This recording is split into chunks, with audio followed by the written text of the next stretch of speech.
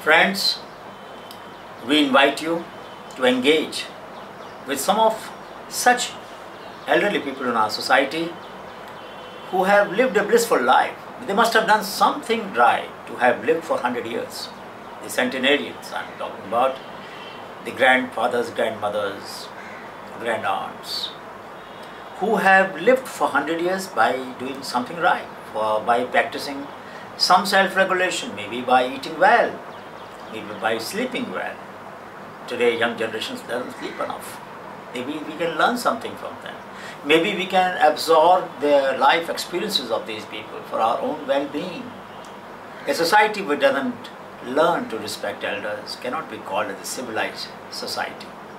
SRISTI, Society for Research and Initiatives for Sustainable Technologies and Institutions, is a voluntary organization that invites you all to engage with this mission.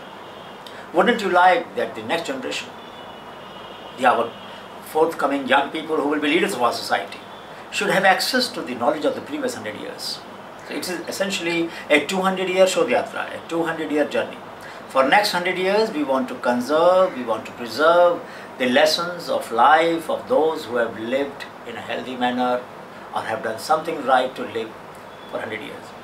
Truly speaking, they are the only ones who can advise us about sustainable development. We will acknowledge those who discover, who find such elderly centenarians. And we will also of course like to acknowledge those whom you whose life experiences you document. It is possible that we can learn from their mistakes. It is even more possible that our own lifestyle might change. Who wouldn't like a society to be happy healthy and feeling having a spirit of well-being?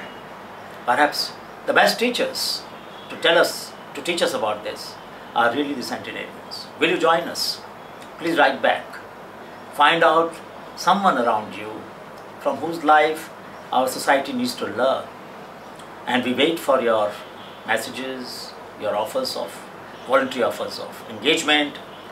And I'm sure that we all will feel blessed. This is an opportunity to get blessings of those who are only very few and who have done something right that we all need to learn about.